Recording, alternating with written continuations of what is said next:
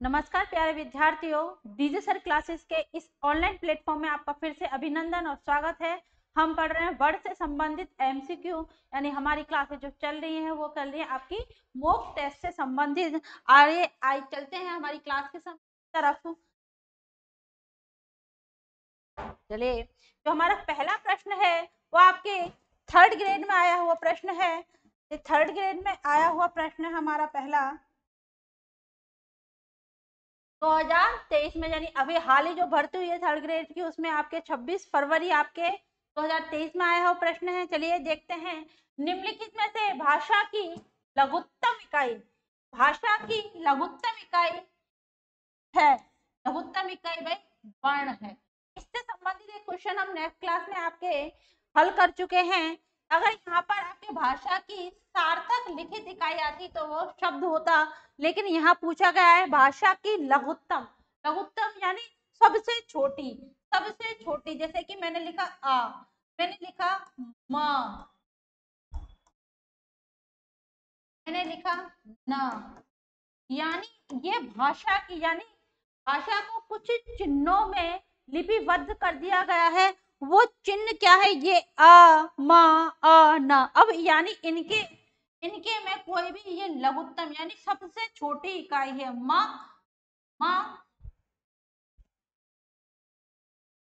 ये क्या है? सबसे छोटे। अब इनको मिलाने पर ये वर्ण कहलाते हैं। भाषा की सबसे, यानी अब मैं इनके कोई भी टुकड़े या खंडन नहीं कर सकते। अब मैं इनको किसी भी रूप में तोड़ नहीं सकती। यानी ये शब्द क्या है? आपके पास अमन है।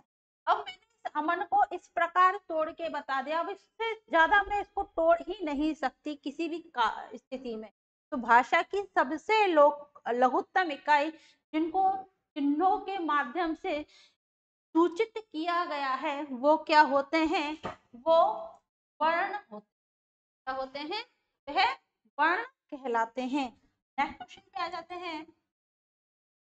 संयुक्तों को छोड़कर हिंदी में मूल वर्णों की संख्या है। भाई राजस्थान पुलिस समीक्षक 2011 की भर्ती में दिया गया प्रश्न है। तो संयुक्तों को छोड़कर, संयुक्तों को छोड़कर भाई यहाँ पर आपके मूल वर्णों की, मूल वर्णों की, यानी ग्यारह तो हमारे हो गए स्वर। ग्यारह तो क्या हो गए? स्वर। ग्यारह तो स्वर है। कौन कौन से हैं? हैं आपके पास? आ आ ई ई उ ई ए आई और ओ। याद रखना, यहाँ संयुक्तों को छोड़कर बात हो रही है। एक इसी से संबंधित एक प्रश्न मैंने कल आपको समझाया था, वो था आपके केंद्रीय निदेशालय के अनुसार आपके मूल वर्णों की संख्या क्या है? तो मूल स्वर तो ग्यारह थे और मूल व्यंजन उन्होंने उच्छिप्त व्यंजनों को भी उसमें दो जो उच्छिप्त व्यंजन थे उसको उसमें शामिल कर लिया था। यानी दो उच्छिप्त व्यंजन थे, ढ और आपका ढा। वो आपको केंद्रीय निदेशालय के अनुसार उन्होंने उसमें शामिल किया था, लेकिन यह क्या है? संयुक्तों को छोड़कर, संयुक्तों को छोड़कर आपके ये तो हो गए आपके स्वर। एक, दो, तीन, चार, पाँच छ सात, आठ, नौ, दस, ग्यारह। ये ग्यारह तो स्वर हो गए। अब आती है हमारे व्यंजनों की बात। तो यहाँ हमारे जो स्पर्श व्यंजन होते हैं, उनकी संख्या कितनी मानी गई है? उनकी संख्या पच्चीस मानी गई है। किसकी? स्पर्श व्यंजन। स्पर्श व्यंजन। कौन कौन से होते हैं? वो होते हैं आपके पास क, ख, ग ह और फिर आता है च छ च छ और फिर आता है र ख र ख और हाँ फिर आता है द और ना। आएगा प और मा। अगर इनको हम गिने तो ये होता है आपके पास ये होता है आपके पास पच्चीस। ये कितने हैं? इनकी संख्या कितनी है? पच्चीस, एक, दो, तीन, चार, पाँच। यानी पाँच पाँच की भागों में इनको बांटा गया है तो इनकी संख्या कितनी हुई? पच्चीस। फिर आ जाते हैं अंतस्तवर्ण अंतस्तवर्ण कौन कौन से होंगे हैं? अंतस्तवर्ण और है उष्मस्था वर्ण उष्मस्था और अंतस्था वर्ण उष्म अंतस्था वर्ण और उष्मस्था वर्णों की दोनों की संख्या चार चार मानी गई है। यानी ये भी चार है और आपके, ये भी चार चार हैं। कौन कौन से हैं? य ला और आपके वा, च और हा। ये कितने हो गए आपके? पच्चीस। पच्चीस तो हो गए आपके ये और आठ हो गए ये। तो इनको कुल टोटल देखिए आप कितना होगा? पाँच और आठ, तीन, तेरह और एक, चौदह। चौदह की एक एक, दो, तीन, चौवालीस। तो यानी कुल आपके मूल संयुक्त वर्णों को छोड़ने के पश्चात आपके इस प्रकार चौवालीस वर्ण बचेंगे। तो हमारे ये संयुक्तों को छोड़ने के पश्चात बचेंगे। चौवालीस तो हमारा उत्तर होगा, चौवालीस। तो अगर आपके पास ये, यानी मूल स्वर मूल स्वर तो ये हैं, ये है मूल स्वर और ये है हमारे पास मूल व्यंजन, यानी 25 तो स्पर्श व्यंजन, अंतस्थ व्यंजन और आपके उष्मस्थ व्यंजन। चलिए नेक्स्ट प्रश्न में आ जाते हैं। चलिए प्रश्न है आपके सामने। कटवार भर्ती 2011 में दिया गया प्रश्न है। चलो, बहुत ही शानदार प्रश्न है। जिस स्वर के उच्चारण में दो मात्राएँ लगती हैं, उसे क्या कहते हैं? भाई, दो मात्रा वाले स्वरों को हम गुरु स्वर के नाम से जान, दो मात्राएँ जिसमें लगती हैं। चलिए एक तो होते हैं हमारे पास मूल स्वर, एक तो होते हैं मूल स्वर, जिनको हम हरस्व स्वर के नाम से भी जानते हैं। के नाम से? हरस्व और इनको एक नाम से और जानते हैं। वो होते हैं एक मात्रिक स्वर। यानी इनमें केवल एक मात्रा ही लगती है। एक मात्रिक स्वर, मूल स्वर और आपके हरस्व स्वर। फिर आते हैं हमारे पास दूसरे, जो होते हैं आपके। इनको हम दीर्घ स्वर, गुरु स्वर एवं द्विमात्रिक द्विमात्रिक स्वर के नाम से भी जानते हैं। किसके माध्यम से? दीर्घ स्वर गुरु स्वर और आपके द्विमात्रिक वो कौन कौन से हैं? आपके पास? देखिए मूल स्वर होते हैं आपके पास आ ई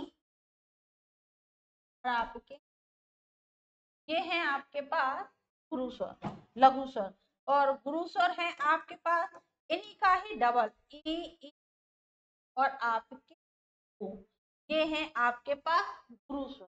यानी जिन पे दो मात्राएँ लगती हैं, इस तरह आपके ये संख्या में अगर बात करें तो ये चार तो मूल स्वर है और गुरु स्वर कितने हैं आपके? तीन आपके गुरु स्वर है।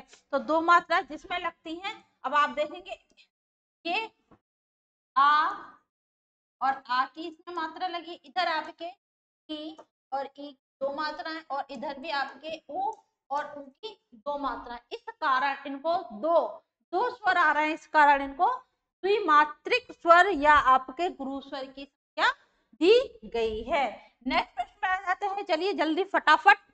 तृतीय श्रेणी शिक्षक भर्ती 2013 में दिया गया प्रश्न है। प्रश्न है, ध्वनि किसकी लघुत्तम इकाई है? ध्वनि ध्वनि भाई भाषा की, हम कहते हैं ना, भाषा की लघुत्तम इकाई क्या मानी गई है? वर्ण। यहाँ पर कंफ्यूज करने के लिए शब्द दिया गया है, ध्वनि यानी आपके वर्ण। वर्ण को ही ध्वनि कहते हैं। हमारे मुख से, हमारे मुख से जो भी वर्ण निकल रहा है, जिस भी, जैसे मैंने बोला, अ, म, न, ये क्या है आपकी ध्वनिया है। ये क्या है वर्ण है? भाषा की, इसकी भाषा की सबसे लघुत्तम इकाई ध्वनि कहलाती है और उस ध्वनि को ही हम वर्ण के नाम से और ध्वनि के नाम से सूचित करते हैं या फिर जानते हैं। आ जाते हैं नेक्स्ट प्रश्न पर। देवनागरी लिपि में स्वरों की संख्या है। भाई, देवनागरी लिपि में स्वरों की संख्या हमारी ग्यारह मानी गई अभी हमने अभी इसको देख लिया है। तृतीय श्रेणी 2000 भर्ती में आया हुआ प्रश्न। और 21 में आया हुआ प्रश्न देवनागरी लिपि में स्वरों की संख्या कितनी मानी गई है? आपके 11 कौन कौन से हैं? आ आ ई उ ए, आई, ओ और आपके ये किसके अनुसार है? ये देवनागरी लिपि के अनुसार इसको बांटा गया है, इसको बताया गया है। आगे चलते हैं नेक्स्ट प्रश्न की तरफ़। द्वितीय श्रेणी शिक्षक भर्ती 2014 में दिया गया प्रश्न है। प्रश्न है स्पर्श व्यंजनों को उच्चारण स्थान के आधार पर कितने भागों में बांटा गया है? भाई, पाँच भागों में बांटा गया है। मैं पिछली क्लास में भी इस पर चर्चा कर चुकी हूँ। उच्चारण देखिए, हमारा जो स्पर्श व्यंजन है वो पाँच भागों से विभाजित होते हैं, यानी हमारा जो मुख है, इसके पाँच भागों से इसको में बांटा गया है। जैसे कि शुरुआत करते हैं हम, जैसे कि मैंने एक मुख बनाया आपके साथ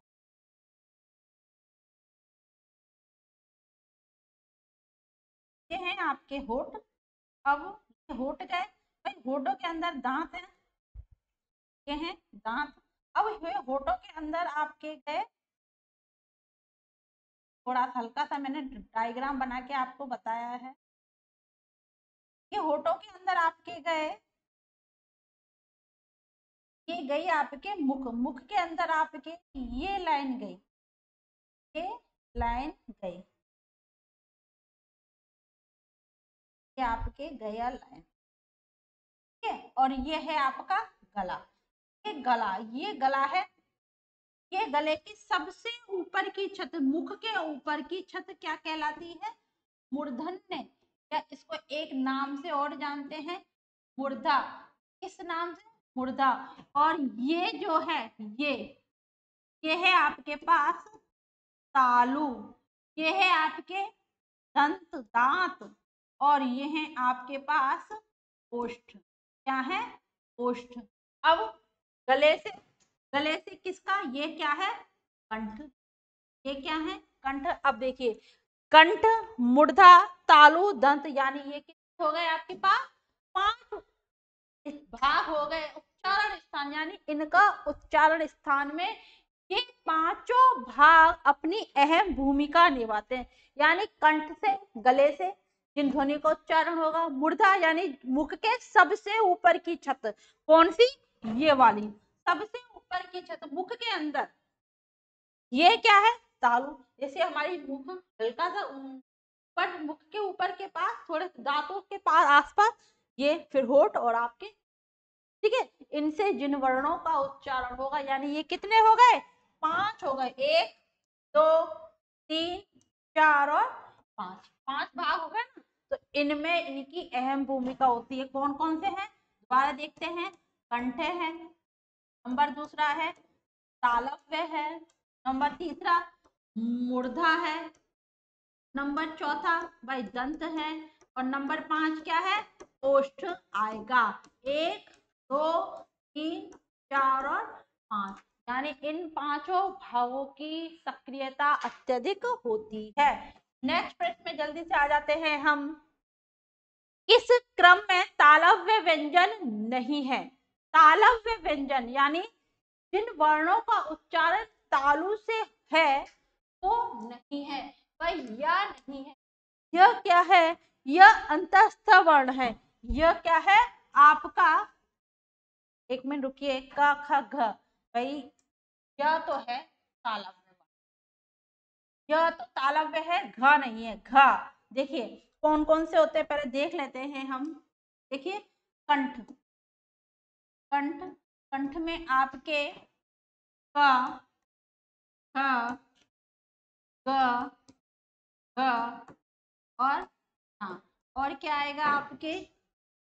आ और आ हा और आपके ह ये क्या है? कंठ यानी गले से उच्चारित होने वाले वर्ण हैं। फिर कंठ तालव्य व्यंजन नहीं है। अब तालु से कौन कौन से आएँगे? तालु से आएँगे आपके तालव्य से कौन से उच्चारित होंगे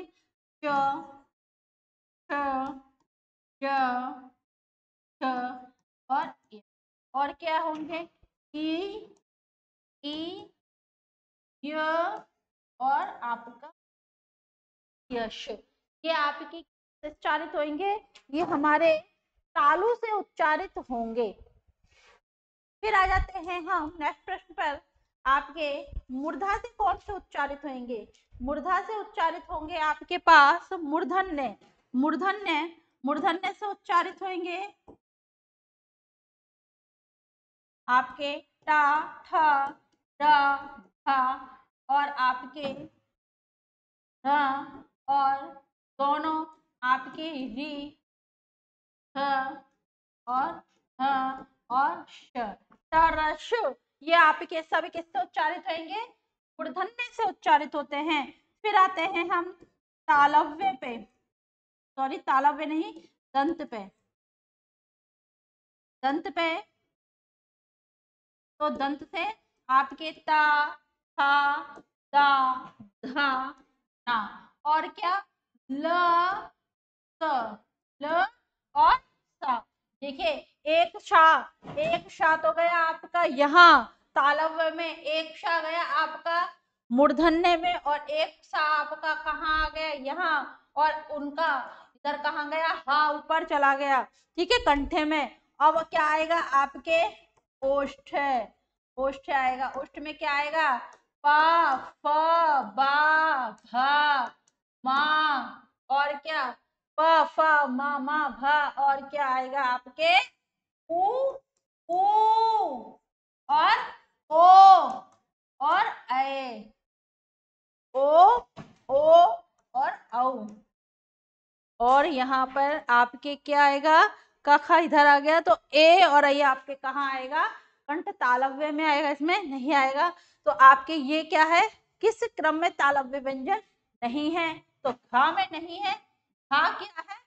घा कंठ है। घा क्या है? घा कंठ वर्ण है। क्या क्या है? घा कंठ वर्ण है।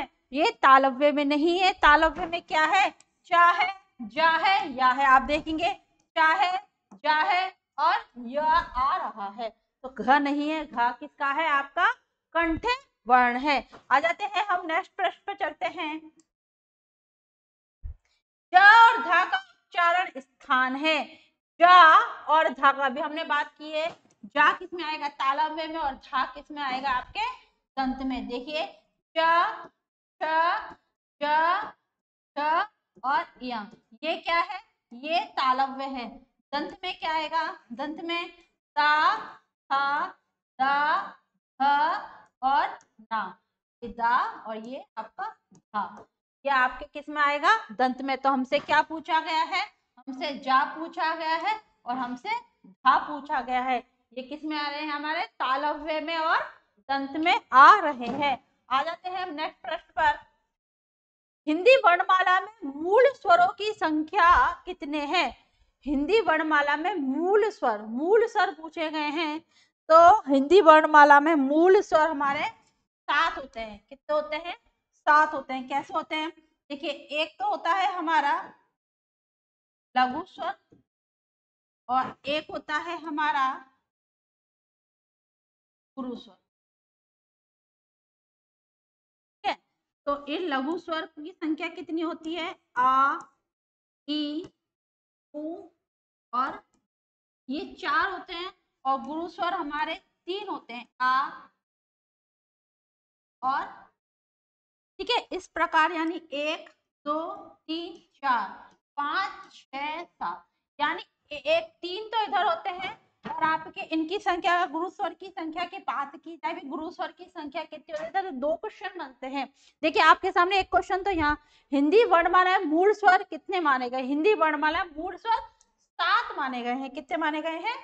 सात माने गए हैं। अब उनको भी डिवाइड किया गया है मूल स्वरों को उन मूल स्वरों को भी डिवाइड किया है। एक तो होता है लघु स्वर एक होता है गुरु स्वर अब लघु स्वर की भी संख्या, अगर लघु स्वर की संख्या की बात की तो कौन कौन से होते हैं भाई? तीन और चार होते हैं। आ, ई, उ और र। फिर गुरु स्वर की संख्या की बात की जाए तो ये कितने होते हैं? भाई ये हमारे पास तीन होते हैं। आ, ई और उ। इसको हम एक मात्रिक स्वर भी कहते हैं। एक मात्रिक स्वर भी कहते हैं। इसको हम एक नाम से और जानते हैं, हरस्व स्वर। हरस्व यानी छोटे, हरस्व स्वर। इसको हम दीर्घ स्वर के नाम से जानते हैं। इसको हम द्विमात्रिक स्वर के नाम से भी जानते हैं। जहाँ दो मात्राएँ आती हैं, यानी मूल स्वर कितने हैं? हमारे पास सात हैं। कितने हैं? सात। आगे आ जाते हैं नेक्स्ट प्रश्न पर।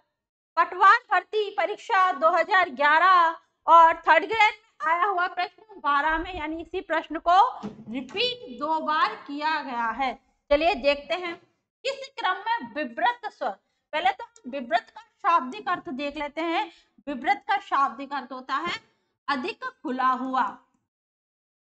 अधिक खुला हुआ। क्या? भाई, मुख। जिन वर्णों का, जिन स्वरों का उच्चारण करने में हमारा मुख बहुत अधिक खुल जाता है। विव्रत स्वर कहलाते हैं। दोबारा सुनिए। वह स्वर जिनका उच्चारण करने पर हमारा मुख बहुत अत्यधिक खुल जाता है, उन्हें विव्रत स्वर कहते हैं। अब वो कौन सा है? आ, जरा उच्चारण करो ज़ोर से। आ आ का उच्चारण करा तो मुख हमारा क्या हुआ? बहुत ज़्यादा खुला। आ यानी पूरा की पूरा खुल गया। तो वो क्या होते हैं, हमारे विव्रत स्वर कहलाते हैं। चलिए देखते हैं नेक्स्ट क्वेश्चन पर। आपका पटवार भर्ती में आया हुआ प्रश्न 2011 में। प्रश्न है आपके सामने। तंत्रियों में कंपन के आधार पर हिंदी वर्णमाला में व्यंजनों के दो वर्ग किए गए हैं। भाई, कंपन। कंपन का शाब्दिक अर्थ होता है, जहाँ हमारा नाद हो, हल्की सी झंझनाहट हो झंझनाहट हो, उच्चारण करने में, उनके आधार पर उसको दो भागों में बांटा गया है। एक होते हैं सघोष वर्ण, एक होते हैं आपके अघोष वर्ण। स्वर तंत्रियों में, यानी इनका उच्चारण, जब इनका उच्चारण कर रहे हैं तो हमारे जो फेफड़ों से वो वायु बाहर निकल रही है, उनमें से हल्का सा कंपन या झंझनाहट उनमें स्पष्ट होती है। उन्हें आपके क्या बोलते हैं? घोषवर्ण और सघोषवर्ण के नाम से जानते हैं तो हमारे पास हमारा उत्तर आ गया। उत्तर नंबर हमारा क्या है? अघोषवर्ण और आपके सघोष। अब ये कौन कौन से होते हैं? ये देखिए, ये होते हैं वर्ग का तीसरा, चौथा, पांचवा और कौन से य और हा। और क्या आएगा? भाई, और इसमें समस्त इसके सभी स्वर आते हैं। क्या आते हैं? स्वर। फिर इसमें क्या आएगा? भाई इसमें आपके वर्ग का पहला, दूसरा वर्ग कौन से? स्पर्श व्यंजनों का। इसका स्पर्श व्यंजनों। वर्ग का पहला, दूसरा और क्या? भाई इसमें तीनों शाह जब आ गए तो तीनों शाह कहाँ आएँगे? ये तो है आपके घोष वर्ण और ये है आपके अघोष वर्ण आगे आ जाते हैं नेक्स्ट प्रश्न पर। क्रमांक में मूल स्वर है। भाई, मूल स्वर अभी हमने देखा है। आपके तीन चार होते हैं। आ, ई और तो मूल स्वर क्या है हमारे पास? ऊ है। हमारा मूल स्वर है ये। बाकी क्या है आपका? किस क्रमांक में मूल स्वर? मूल स्वर आपका अ, उ और ई। ये आपका संयुक्त स्वर है। संयुक्त स्वर है और आपका ये दीर्घ स्वर है। ये आपका संयुक्त स्वर है। और ये भी आपका संयुक्त स्वर है। ये दीर्घ स्वर हमारा मूल स्वर आगे आ जाते हैं। नेक्स्ट प्रश्न। इस क्रमांक में ढ ढ के व्यंजन की सटीक बात कही गई है। उच्छिप्त मूर्धन्य व्यंजन है। ध भाई इसके नीचे बिंदी आएगी। क्षिप्त है और क्या है ये? मूर्धन्य वर्ण भी होता है। अभी हमने देखा था ना, आपकी क्या आएगी? ट और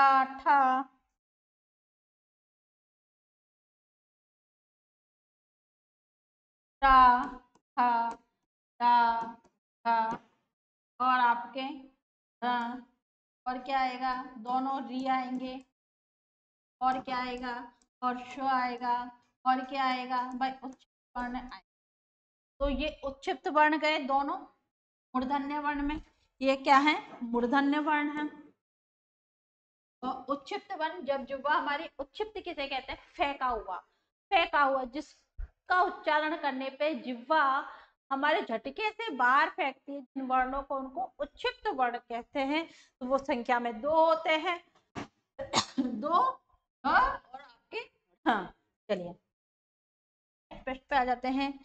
जिन स्वरों के उच्चारण में मुँह सबसे कम खुलता है, उन्हें समृद्ध स्वर कहते हैं। जिनमें इनका उच्चारण करने में मुख सबसे कम खुलता है समृद्ध स्वर और जहाँ सबसे अधिक खुलता है, सबसे अधिक सबसे अधिक खुलता है। ये क्या कहते हैं? विब्रत स्वर और जो सबसे कम। मुँह सबसे कम खुलता है। और यहाँ पे मुँह सबसे अधिक खुलता है। तो हमारा उत्तर क्या है? संवृत स्वर होगा। पटवा भर्ती 2011 की भर्ती में ही दिया गया प्रश्न है। आगे आ जाते हैं नेक्स्ट प्रश्न पर। संयुक्त स्वर है। संयुक्त स्वर आपका ओ है। ये आपके, देखिए, मूल स्वर की अगर बात करें तो हमारे पास जो मूल स्वर हैं, वो हमारे पास कितने हैं? सात हैं। इन सातों को भी दो भागों में बात किया गया था। एक होते हैं आपके लघु स्वर और एक होते हैं आपके दीर्घ स्वर। लघु स्वर की संख्या तीन मानी गई है। आ, ई और फिर दीर्घ स्वर होते हैं आपके आ और यानी ये तो है हमारे पास चार और ये है हमारे पास अब यहाँ संयुक्त की बात हो रही है तो आ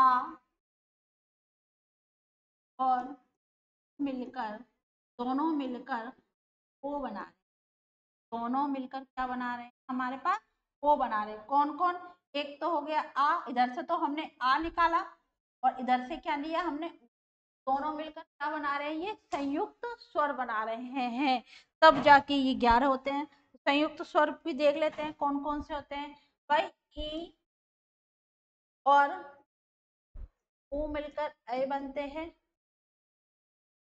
और ए मिलकर ए बनते हैं और आ और कर ओ बनते हैं और आ और ओ मिलकर ओ बनते तो ये कौन से स्वर हैं? ये संयुक्त स्वर कहलाते हैं। संयुक्त स्वर कहलाते हैं।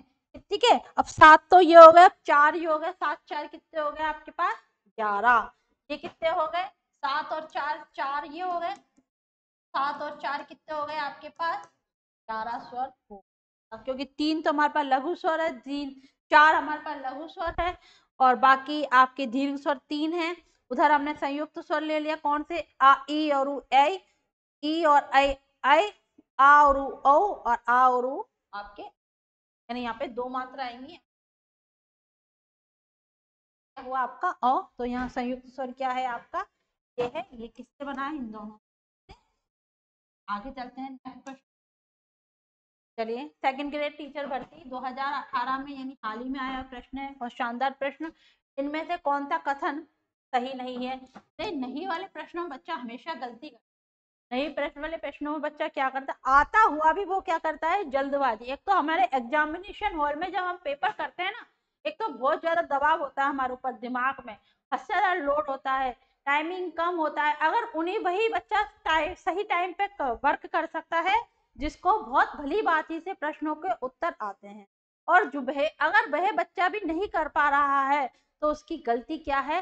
वो गलत, सही को भी गलत कब करता है? वो जल्दबाजी में, दबाव के कारण मेंटली दिमाग टेंशन में होता है, उस कारण भी आपके ये गलत हो जाता है। क्योंकि हम पढ़ते समय निम्न में से कौन सा कथन, पीछे वाले नहीं को हम क्या कर गए भूल गए। पीछे वाले बल को हम भूल गए।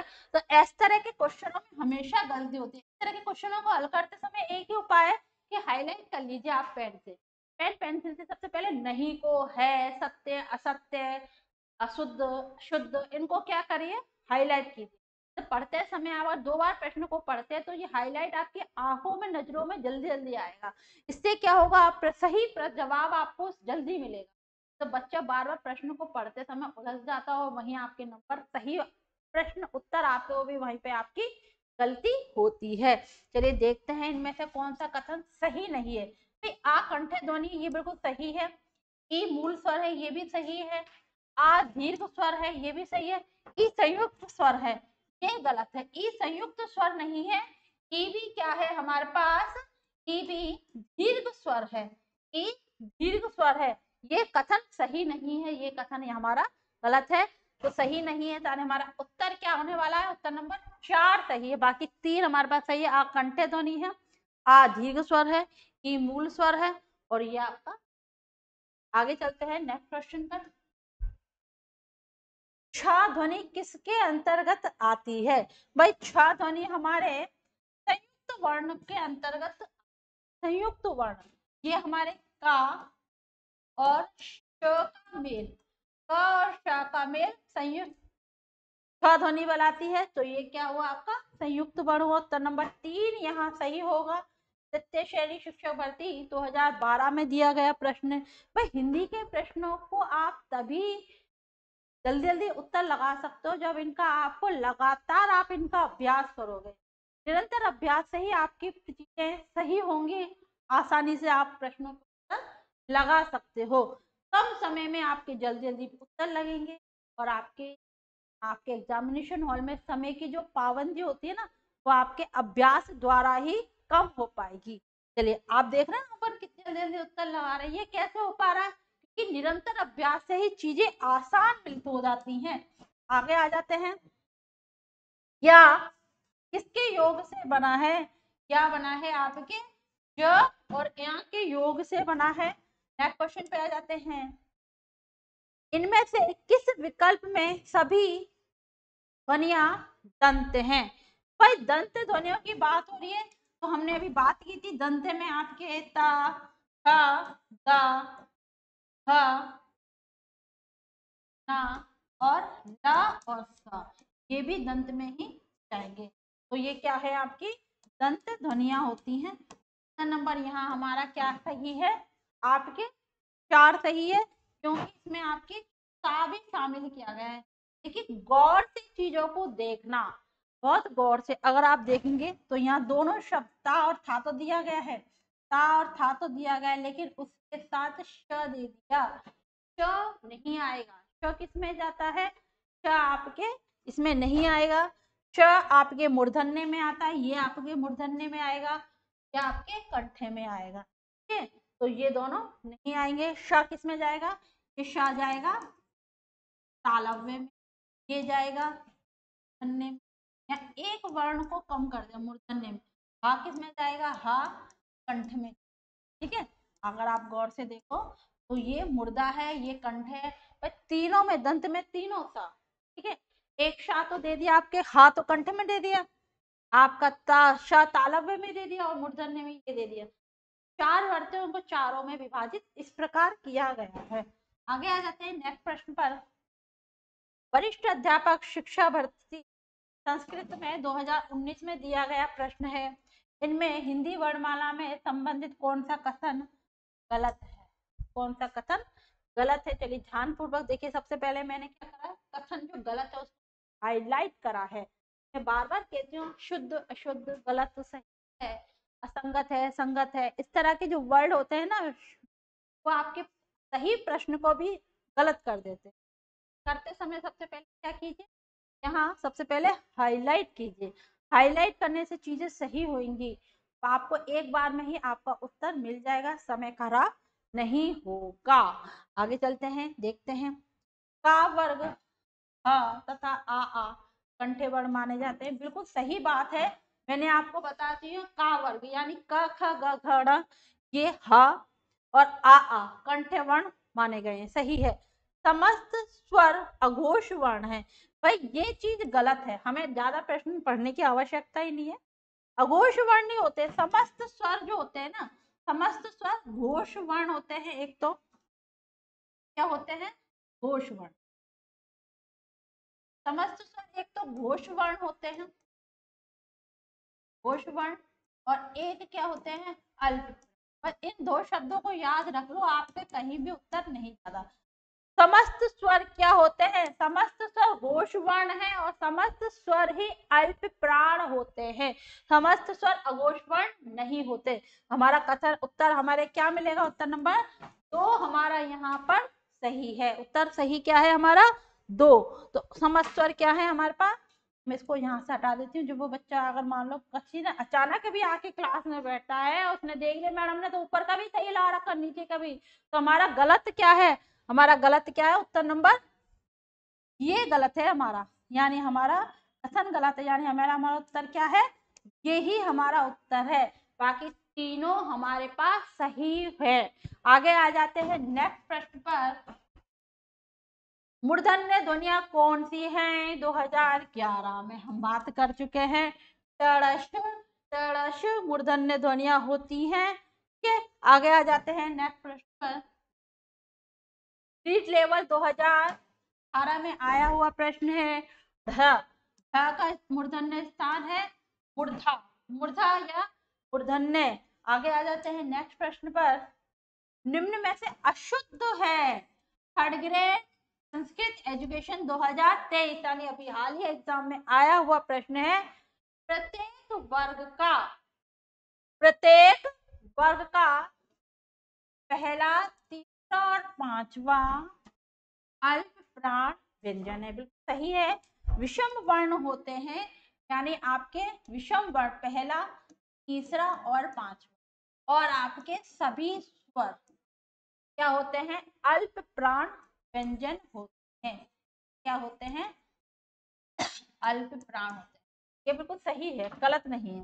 प्रत्येक वर्ग का पहला, चौथा और उष्णवर्ण महाप्राण होते हैं। भाई, यही पहला, चौथा नहीं, यहाँ पे दूसरा आना चाहिए। दूसरा आएगा यहाँ। ये गलत है। हमारा उत्तर हमें मिल गया है। अल्प्राण की अपेक्षा महाप्राणों वाण वायु का अधिक उपयोग होता है। ये सही है। छात्राज्ञा की गणना स्वतंत्र वर्णों में होती। संयुक्त वर्णों में होती है। तो हमें हमारा उत्तर मिल चुका है। उत्तर नंबर दो हमारा सही उत्तर है। निम्न में से अघोष वर्ण नहीं है। देखिए, अघोष वर्ण अघोष वर्ण क्या होते हैं आपके? वर्ग के पहला का वर्ग का। वर्ग का पहला, दूसरा वर्ण। और क्या? और आपके तीनों श तीनों क्या होते हैं हमारे पास घोष वर्ण होते तो वर्ग का पहला तो है का बा भी है बा और फा भी है बा बा क्या है? बा यहाँ हमारे पास घोष वर्ण है। क्या है? घोष वर्ण है बा घोष वर्ण है, ना कि अघोष वर्ण नेक्स्ट प्रश्न पर आ जाते हैं। संधि की दृष्टि से संगत विकल्प का चयन की सेट में आया हुआ प्रश्न, संगत का। चलिए, मूल स्वर मूल स्वर कौन कौन से होते हैं? सबको पता है, मूल स्वर होते हैं हमारे आ, ई, ओ और रो। चलो, जहाँ हमें तीसरा मिलेगा, पहले में तीसरा तो हमारा ये उत्तर सही होने वाला है। बाकी तो बात देख लेंगे दीर्घ स्वर कौन से होते हैं? भाई, दीर्घ स्वर आपके तीन होते हैं, आपके तेरह। दीर्घ स्वर, आ, ई आपका दीर्घ स्वर। अल्प प्राण में क्या आएगा? अल्प प्राण में आपका आपका आएगा अल्प प्राण होता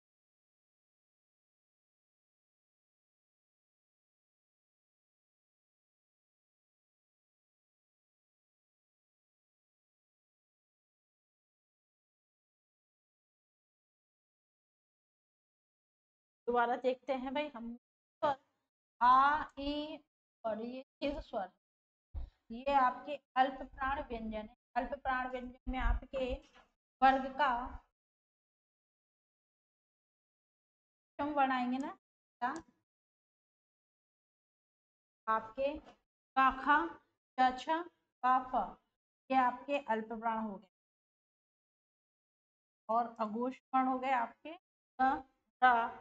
ला अघोष वर्ण या अलावा घोष वर्ण है ये वाले अघोष वर्ण है और ये वाले आपके य, र, ल और बा य, र, ला और बा य, रा, ला और वह अल्प होते हैं अघोष वर्ण होते हैं आपके क, ख दोबारा समझो इसको।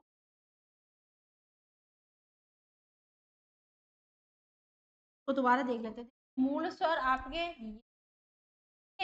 दीर्घ स्वर आपके अल्प प्राण आपके हैं और अघोष वर्ण है आपके तो हमारा उत्तर आपका यही है। हाँ उत्तर हमारा यही सही है। पहले में तीसरा है, खा में दूसरा है और ग में आपका चौथा है और अघोष वर्ण आपके, ये हैं विषम संख्याएँ। विषम संख्याएँ आपके, पहला और आपका, दूसरा आपका अघोष वर्ण होते हैं। और आगे चलते हैं नेक्स्ट प्रश्न पर जब उत्तर हमारा यहाँ पर, हमारा उत्तर तीन यहाँ पर सही होगा। आगे आ जाते हैं नेक्स्ट प्रश्न पर। शिक्षक भर्ती 2014 में दिया गया प्रश्न है आ। स्वर का उच्चारण स्थान क्या है? कंठ है। आगे आ जाते हैं। चर्चा कर चुके बार बार हम नहीं कर बोलना चाहते। निम्न से कंठे ध्वनि कौन सी है? भाई, कंठे ध्वनि है आपके। क, का वर्ग का आपके पूरे वर्ण आपके किसमें आएँगे? कंठे ध्वनि में आएँगे। स्टेनोग्राफर 2000 इसमें दिया गया प्रश्न है। आ जाते हैं नेक्स्ट प्रश्न। सुमेलित कीजिए। सुमेलित कीजिए। जरा इस तरह के जो प्रश्न आते हैं बड़ा ही आनंद आता है मुझे इस प्रश्न, ऐसे प्रश्न करने बड़ा ही मज़ा आता है। पूरा दिमाग घूम जाता है कौन सा क्या हो। चले। का क्या है? का कंठ है। ता क्या है? ता दंत है। ना क्या है? ना आपके ये है। और शाह क्या गया? तालु। चले देख लेते हैं भाई, का? पहले में तीसरा आ रहा है। तो पहले में तीसरा तो हमें यही मिलना है। फिर दूसरे में आपका पहला है, तीसरे में आपका चौथा है और शाह आपका, यानी हमें हमारा उत्तर मिल चुका है तीसरा। अगर आपके पास दो उत्तर भी आपको मिल रहे हैं ना, फटाक से ना आंसर लगाइए। ऐसे क्वेश्चनों में। आपके, आपका उत्तर कहीं भी गलत नहीं जाता। अब मैंने पहले क्या देखा? कंठ देखा। कंठ में कहा किसका है? कंठ का है। और आपका दूसरा देखा, दूसरा क्या है? ता ता दांतों से बोली जा रही है तो नहीं तो आपका दंत होगा। आगे आ जाते हैं नेक्स्ट प्रश्न पर। चलिए, इनमें से किस वर्ण का उच्चारण स्थान कंठोष्ठ है? यानी कंठ, कंठोष्ठ, यानी कंठ और ओष्ठ से, होठों से, यानी इसमें दोनों भाग हमारे सक्रिय हो रहे एक तो गला और हेको कौन सा? ओ ओ की जो धुनी आ रही है, वो आपके गले से और होठों में भाग सक्रिय हो रहे हैं। तो ये आपका उत्तर क्या होगा? यहाँ अ उत्तर सही होगा। आगे आ जाते हैं नेक्स्ट प्रश्न पर। किस क्रमांक में ई स्वर का उच्चारण स्थान है? ई ई आपके तालु तालु से बोला जाता है। आ जाते हैं। निम्नलिखित में से कंठ तालव्य है। निम्नलिखित में से कंठ तालव्य है ए और ए ये आपके कंठ, यानी कंठ और जहाँ तालु का भाग सक्रिय होता है, इनको बोलने में वो कंठ तालव्य ए यानी गले से तो ध्वनि निकल, उसमें आपके तालु भी भाग सक्रिय हो रहा है और और कंठोष्ट में क्या होता है? कंठोष्ट में आपके कंठ और आपके दो ही भाग आते हैं तो ओ और आपका आपके दो ही आते हैं कंठोष्ट अ और औ। तो ये इस तरह आपके ये प्रश्न हो गया तो हमारा उत्तर क्या होगा? उत्तर नंबर एक यहाँ पर सही माना जाएगा। आगे आ जाते हैं। चलिए, ये जो वर्णों से संबंधित जो श्रृंखला थी, वो अभी समाप्त हो चुकी है। ये आशा है, ये प्रश्नावली जो हम करा रहे हैं मॉक टेस्ट से संबंधित, आपको बहुत ही मज़ा आ रहा हो, आनंद आ रहा हो इसे करने में। आज के लिए इतना ही। आज के लिए धन्यवाद।